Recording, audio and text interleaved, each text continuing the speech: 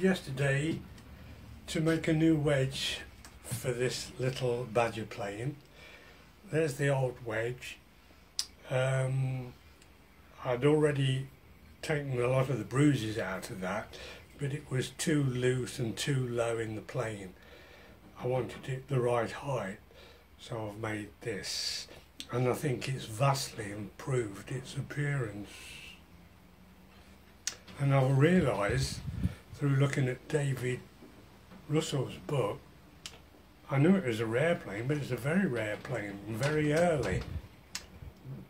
David Russell says between, I think it's 1856 and uh, 77, something like that. It's, it's turned out to be one of the very early recorded uh, chariot planes with ebony. It's even earlier than Syme, which is a very early plane maker as well, and very rare. So this is a rare item.